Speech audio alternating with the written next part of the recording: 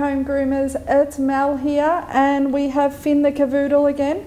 This is our part two to our three part video on grooming a cavoodle. So we've already done the part one and now this is a part two. So this is our bathing video. So this will go through step by step on how to bath your cavoodle safely at home. The equipment we are going to use today is we have our two towels ready to go. We also have from our first video, we have our non-slip mat on top of our bench so it keeps him nice and secure for when he's out of the bath. We also have a non-slip mat in the bath so when the shampoo's on he's not going to slide around, he's going to feel really quite safe. Um, we also have some sponges and a face washer and a loofah as well. And we also have a noose that has a suction cap that actually goes on the side of the bath that will help make him feel secure while he's in the bath. We are going to use the Relax collection today. The Relax collection is formulated for dogs with sensitive skins, puppy, as well as senior dogs. So this is perfect for Finn's bath. Before before we start our bathing process, it's important that we don't get any water down Finn's ear canals. So what we're going to do is we're going to get a little bit of cotton wool and we're going to gently place it inside his ear. And that will avoid getting water down there. So what we need to do is once we've finished bathing him, we need to take that cotton wool out straight away. So now let's start bathing. So I've gently put the water on and we're just gently going to go down the back of him, just getting him used to the water falling down his coat. And we're going to do this all over his body. If your dog doesn't like his head being washed, what we can do is use our face washer and then gently the water on. So his face is all wet now and all down his back legs, getting ready for our first shampoo. Okay, so he is fully rinsed and just remember to keep the water temperature at a comfortable temp at around 34 to 36 degrees. We are going to get our Relax shampoo Rub it between our hands and gently work down his back down to his legs.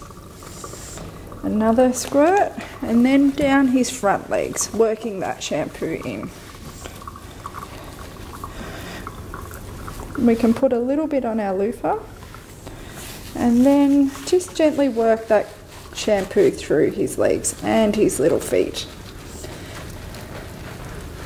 Repeating this process all over his little body.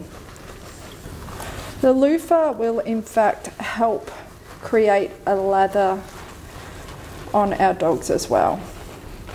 We just do not want to rub too hard to tangle that beautiful coat up. Once we have shampooed his entire body, I'm just going to put a little bit of shampoo on my hands and we are gently going to work that through his face. A little bit more. And then just a little bit on top of his nose, under his chin.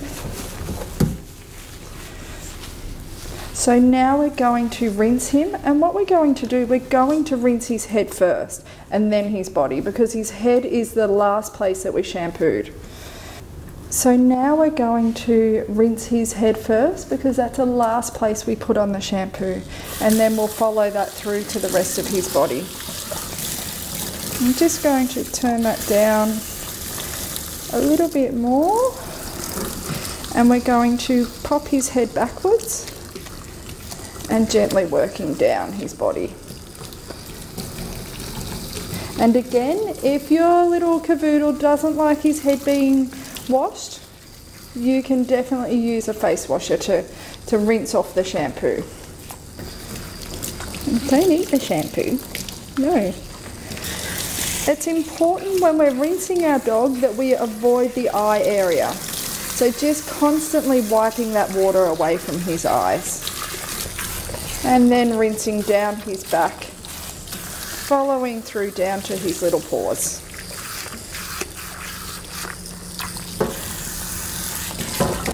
We are going to do our second shampoo now. So we're going to repeat the process. We're going to put the shampoo down his back and then down his legs and then shampooing his head last again. So popping it through our hands and just working that through. We wash our dog's coat twice just to make sure we break through all that dirt and oil, leaving the coat fresh and clean.